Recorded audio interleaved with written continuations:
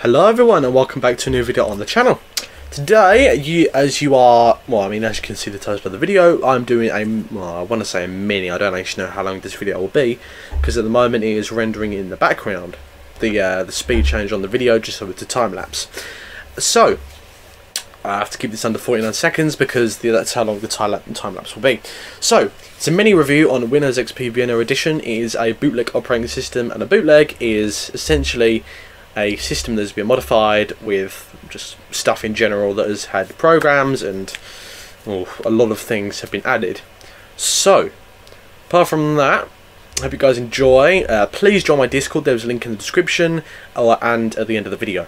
I'm going to also be adding in different well, no. I'll be uh, putting screenshots of the new subscribers that uh, that subscribe to my channel um, at the end of the video, just as like a mini. I want to say I don't want to say promotion, but as you can think, yeah. Anyway, enjoy the video, guys, and I'll see you in a second.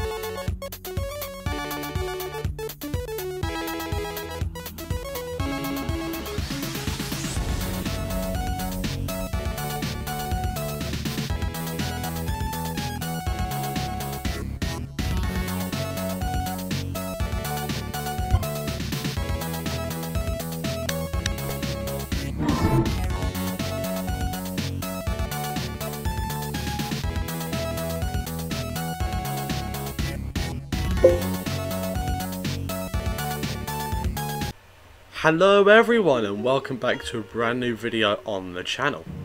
Now I'm not going to be doing a facecam video today because I thought we'd just have a nice sitting down relaxing video having a little bit of a look at a Windows bootleg.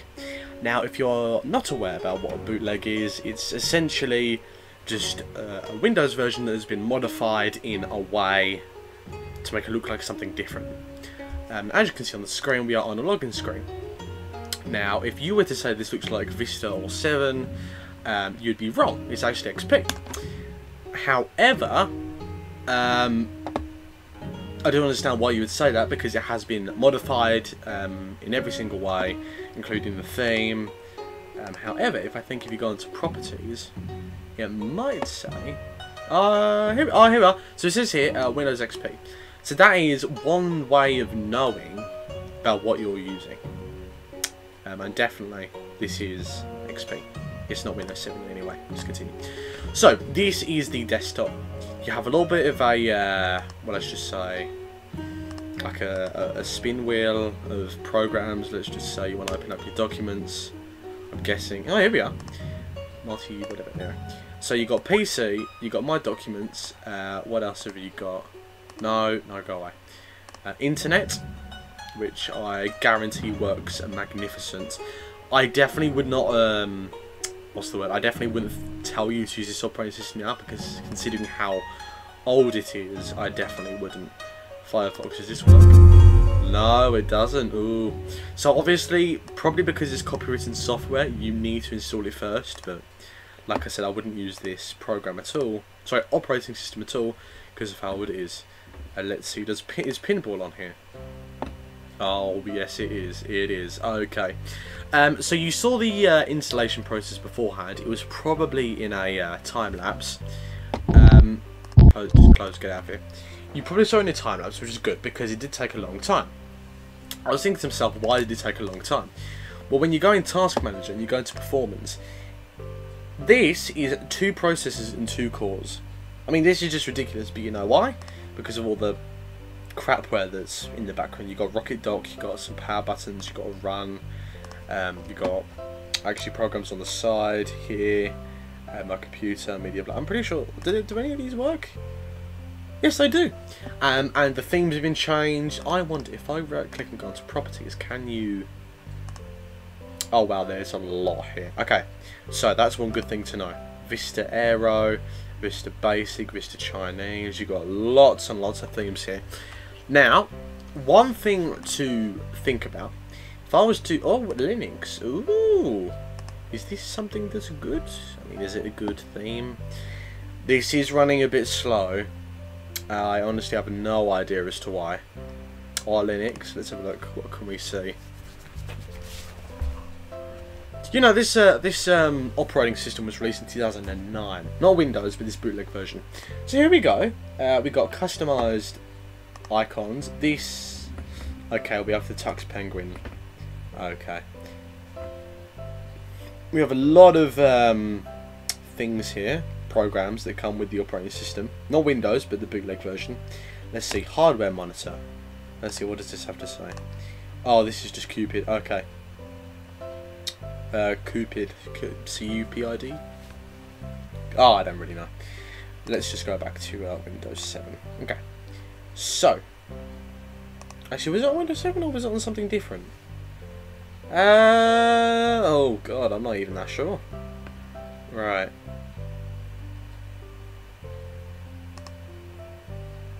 Come on.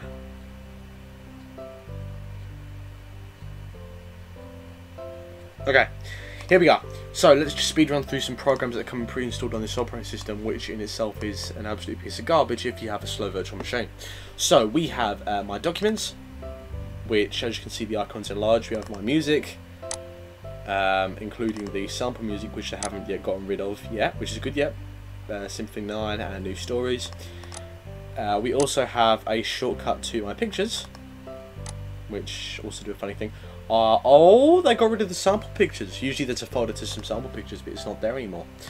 You have my computer, which um, displays your local disk and as well the DVD. You also have my network places, which shows nothing because it's not on this network. Uh, but it is on network, as you can see, not down here. Uh, we have Internet Explorer, which does work um, but I wouldn't use this or the operating system in general because of how uh, out of date it is and XP has lost support for many years so I doubt many people even use this anymore. You have Core Temp um, which as you can see because it's a virtual machine it doesn't really show much. Um, file menu tools, Oh here we are. So since it's been enabled uh, I don't know, oh here we Oh, okay. So when you right click on uh, the context menu, you can like go open in. Ah, okay. Delete locked file. Alright, yeah, that makes a lot of sense. Uh, for like a cracked operating system anyway. Hardware monitor, as you can see, it's pretty. Uh, ooh, I mean, hardware monitors is probably. If you ran this on a real computer, it would be a lot faster, and it would probably takes a lot more than this, or maybe just a bit, a little bit more. Because it's on a virtual machine, it can't take much. Resource Hacker. It's Resource Hacker. So with this, and I haven't really used this before, you can open up programs and you can see how they're made. So this is say version info, GIF, 128 cursor. It shows all of the insides of the program. So if you're ever interested about how a program works, you can put it in here. Uh, Rocket Dock, that is what this program is up here. Um, and you have control panel, you've got Windows Media Player, uh, and you have Firefox, but there's no Firefox on here, as you can see here. Uh, we have a shortcut to my computer and also a shortcut to my recycle bin. Oh, Windows Media Player, I love this. Oh, it's been a long time since else used this. Oh. I mean, I'm more of a VLC type, type, type of person in itself. So let's see what else we have here. Thumbwin. That doesn't sound great. Let's just close that. Let's media plug now. So Thumbwin, what do we think that can be? Close. Oh my god, this is very slow. Thumbwin. What is Thumbwin? I'm assuming Thumbwin might have something to do with these. Or it's a program that's already been opened like one of these, perhaps. But who knows. Okay, let's have a look at... Uh, True Transparency is literally just the transparency that's on here. Um, it's a lot better in terms of transparency. Now, not on the actual Windows. Not on Windows itself. Just on the taskbar as well as the start menu. Actually, not even the start menu, just the taskbar. Uh, Ultra Explorer is basically instead of the Windows Explorer window.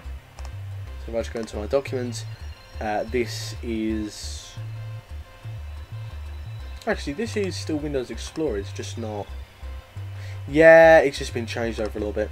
So here is Ultra Explorer with a lot of more features than the regular Windows Explorer. Uh, let's just close you. Come on, come on, come on. I would uh, suggest to some people that you use this on a virtual machine if you don't like log into any accounts or anything that mean much to you. Um, what else is on here? I mean, you've got a bunch of themes, as I said before. Oh wow, that is like transparency over the ball. Uh, you have a power to shut off your computer. You've got a button to uh, run, and you've got a button to the security Although that does nothing. You have navigation, controls, a clock, and trash bin. Um, you have my computer. So these are all pretty much just shortcuts. Um, we have a bunch. I wonder, do we have any screensavers on here that are new? Windows, Linux. How does that look? Does it move around, or is it just one particular thing? It might have been one particular thing. I'm not that sure. Uh, Windows Media Center. Oh, here we go. Oh, I don't recognise this screensaver. Maybe it's something that came out with the uh, Windows Media Center edition, but I don't really recognise it. So, let's see what else is there. There is Windows Vista. Oh, I do remember, I do recognise this. Although it's not like that. It's different to that. But that's not the point. The point is, is that this is a very... No, I wouldn't say trimmed down version of XP. If anything, it's a very bloated version of XP. If we click on apps, I'm assuming it will bring up like a page of apps that are installed. Here we go, yeah, programs, uh, accessories. I think this is a glitch with the graphics settings, which is why it's like this. But I don't really know. Uh, and then you can have solitaire and all that. I think there's a button. Is it like Shift F2 or F3 or Shift or Alt or whatever? But yeah, all right. That's not the point. The point is, this is an operating system that I would probably give ooh, out of 10 a 4 I'm not really a massive fan of it why you might be asking well I'm just I don't feel like it's been very bloated there's a lot of things have been modified I wouldn't really trust this to have all my files on here um, I definitely wouldn't use this on a day-to-day -day basis I won't anyway because it's not been um, what you call it. It's not been supported for a very very long time. Uh, computer name, hardware, advanced, system restore, automatic updates, and remote. Uh, so by default, the computer name is XP Windows 7, as you can see here. What else is there? We have just this basically. This is it. Now, the boot screen is actually Windows Vista, which you might have seen down here when I was going through the time lapse as well as getting drivers installed for VMware tools. Thumbwin. I think that's it. No, no, it's this one. Because if I now quit it... No, it's still transparent. Oh no, it's not transparent anymore. So if I go into shadow... Oh, okay. So YZ Shadow makes everything in the computer transparent, apart from things that aren't already open, which I'm assuming would be Windows uh, Explorer. So that's interesting. That's something you don't really learn every day. Yeah, every day. Uh, now this, else is there? You've got resolution, you've got appearance, um, error. You have lots of themes here. I do like the choices of themes that you get. You also do just have Windows XP if you are used to that. With the default blue, green, and silver. Apart from that, there's not much else to show. I'm not recording this at uh, half midnight. I'm not absolutely mad. The time currently is, in fact, uh, 6:30 p.m. on a uh, Wednesday. Yeah, it is a Wednesday. I don't know why I didn't think it was a Wednesday. But apart from that, I think what we should do is just say goodbye to this laggy operating system and just press. I wish I was a little bit faster. The shutdown button. Apart from that, guys, I hope that you enjoyed this. Well, that was nice. I hope you enjoyed this mini review. I would say mini. It's now been 12 more, almost 13 minutes from 3 to 1. Boom, 13 minutes. Not even 13 minutes from when the time lapse started, just from when I've been rambling on. But anyway, I hope you've enjoyed this video. Um, can't wait to be uploading more videos in the future when I can get around to doing it. But yeah, I hope you guys have enjoyed. I'll put a link to the ISO file in case you want to download it. Um, it would be good if you had a uh, Ethernet connection to your internet because archive.org isn't really good on Wi-Fi downloading, unfortunately. Um, but anyway, hope you have a good one, guys, and I'll see you all next time. But bye for now.